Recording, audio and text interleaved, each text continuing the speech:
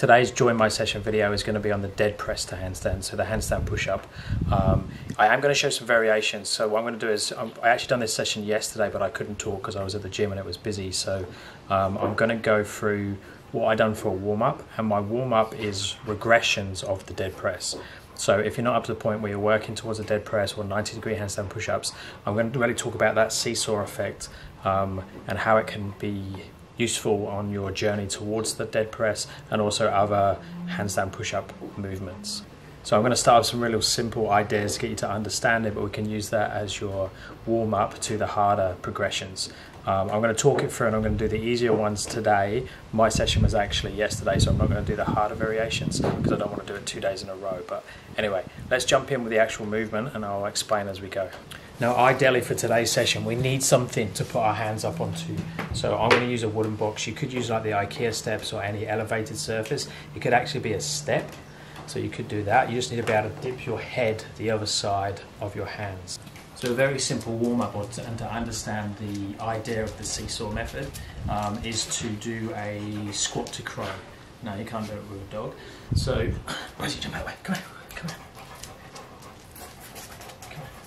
So I'm going to come down into a squat position and I'm just going to take my head below the point pivot point. So here the pivot point is the knees and the elbows. Um, so I'm going to shift weight forwards into that crow position. Now my head goes below the pivot point and my head goes towards the floor, my feet lift up. So I'm using that like seesaw effect to lift the hips up and bring the head down. So I'm going to use that same concept but now up on the box. So I'm going to go between a kneeling position and a shoulder stand. So shoulder stand is where I take the collarbone towards the box and try and make the hips high, shoulders low so my knees come off the box.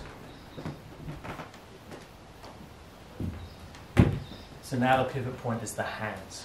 If I could take something lower, it makes it easier.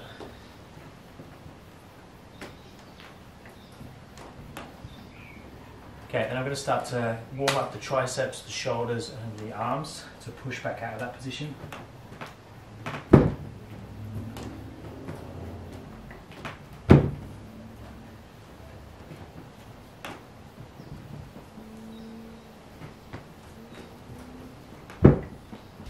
Same idea from that kneeling position on the box, but now I'm going to lean forwards, collarbone to the box. I'm going to go inside the bottom of the handstand push-up.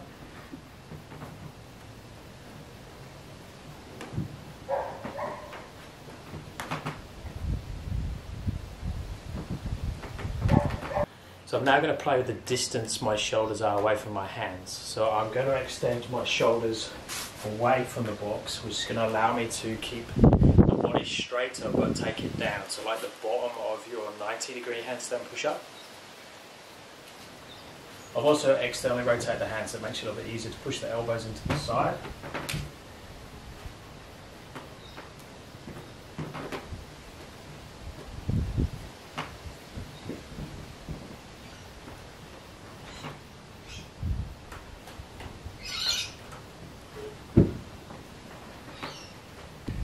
And now I'm going to assist or cheat, if you want to call it that, to get up into a handstand. So I'm going to use a bit of momentum from that leaning forward and pushing up. I'm first actually going to do it in the crow to show you that version. So exactly the same as the box version, but now the pivot point is knees and elbows instead of the hands on the box.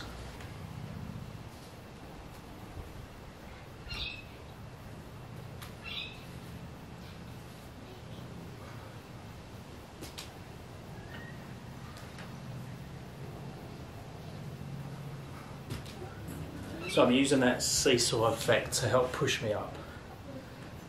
Same thing on the box. I'm going to take the shoulders out in front. I'm going to whip the shoulders down and push up to get me into a handstand now up on the box.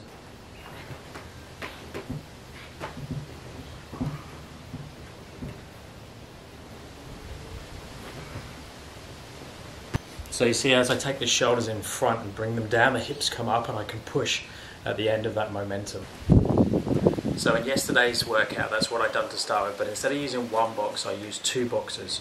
So I'm standing in the middle of the boxes, I, but I do that same thing. I sweep down push out of it.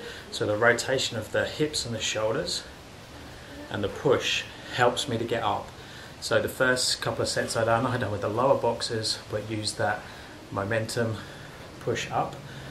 Then I went to a higher box, and now I've done more of a straight body movement. That same thing, that rotation and push, but my hands are up higher, but I can stay in the straight body as I go up and as I come down. So the shoulders are always counterbalancing what the hips do. And then for the dead press. Now for the dead press, what happens now is instead of being able to take the head and shoulders below the hands, the floor stops you from doing that. So one variation would be to lay on top of the box and push up from there. Now that would allow you to dip your head and shoulders down, which would bring up your hips and be able to push out of it. So that would be one way to make the dead press a little bit easier. The other way you could go into a straddle position or shorten the lever arm in some way. So bend the knees or something. But again, you'll have to play with what variation you can do and not hit the floor. And because the dead press is coming from a dead stop, you're not actually using any momentum to get up. You have to generate a bit of power to kick up from the start. And you'll see when I do it, especially this first rep, that the feet sort of lead up first, then the hips. It's like I'm peeling myself up to create that momentum from the feet first. Ideally, and you'll see it on my second and third rep, I start to straighten the body and come up as one instead of peeling the body up, which is much harder. But you'll still see on my good rep or my best rep that I don't do that. Um, I don't keep it dead straight. You'll see that my legs try and come up, and you'll see one leg will come apart. I always do that weird thing where I flex one foot and point the other foot, just because that's maximum push, and I'm having to peel our body up a little bit. Ideally, if you look at someone like mm-hmm. some monster do it, the body stays straight when you go up and back down. I notice on my way down, I get it nice. It's much easier to do it.